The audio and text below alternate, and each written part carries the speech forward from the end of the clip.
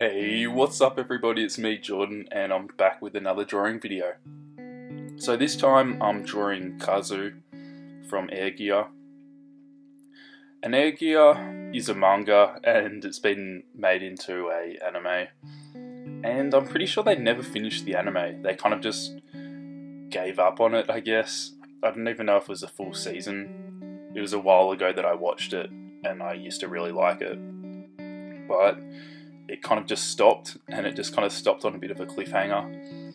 So I actually started reading the manga for it, and I have to say, like, the artwork for Air Gear is pretty amazing. It's pretty full on, there's lots of like really cool posing and stuff like that. The artist who does it is Oh Great, well, that's his pen name anyway. and yeah, he's pretty talented. Just yeah, I highly recommend check out the the manga for that because it's pretty crazy.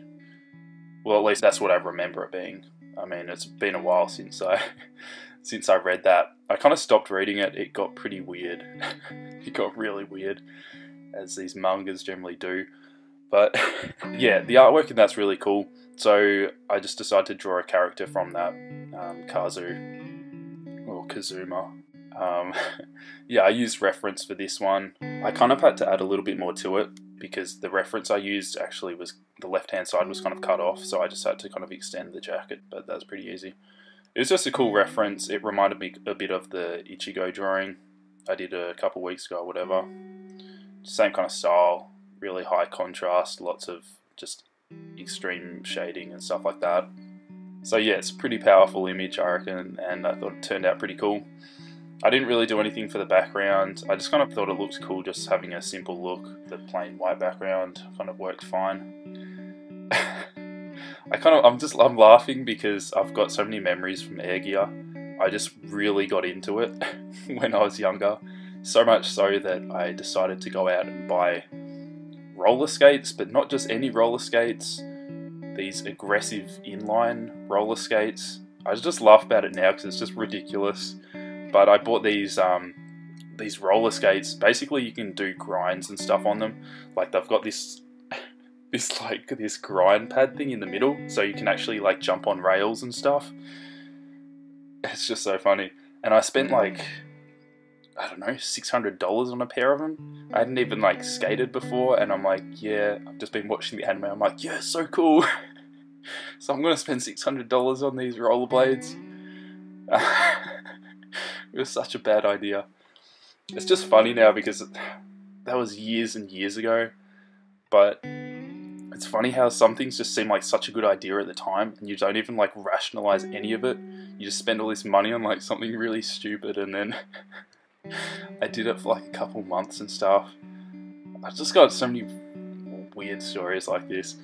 And so I decided to, I kind of joined this club. Well, not really a club, but there was a bunch of these other guys who did skating and so I'd get driven out. Um, my mum would drive me out there. This was before I could drive or anything, before I had a license.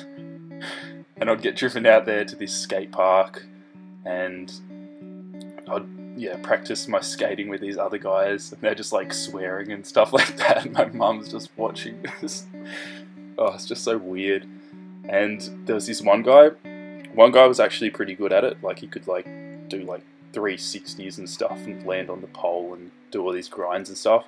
And his mate was skating as well, but he just wasn't as good. And it's like he was kind of jealous of the other guy. and he was giving me some tips and stuff like that. And there's this big ramp, and he's just like, Yeah, just go down. I'm like, I don't really feel comfortable doing this. And he's just like, Yeah, you got to do it anyway. You're not going to learn if you don't push yourself. So then I go down this ramp, and I just. I somehow managed to not fall fall over or anything, and so I did it. I'm like, oh Jesus, that was close. And then he, he's like, yeah, do it again. I do it again, and I just stacked real bad. Lucky I'd like I had these wrist guard things and knee pads on, and I just like fully grinded off the plastic of it. It was just, yeah, I didn't, I didn't keep that up for long. that was enough. So I just have all these kind of funny memories when it comes to air gear. I've still got the the roller skates in the back of my car, just in the boot. And whenever I open the boot and I'm with some friends or whatever, they look at them like, what the hell? they just laugh at me. I just have a laugh as well. you know, I just keep them in there in case I ever get the urge to go to the skate park and do some grinds. oh man. Anyway, I haven't really been talking about the drawing at all, and it's pretty much over. One thing I just wanted to quickly say about this drawing, I did a lot of shading and stuff in the coat, and that was actually really challenging because I didn't really have the right markers for it, the right colours, so I was kind of blending between a really light grey and then like a darker grey, and yeah, that was really tough. it ended up turning out okay, and that kind of helped that I use like pencil and stuff over the top as well. So it just helps smooth any of the gradients and stuff like that.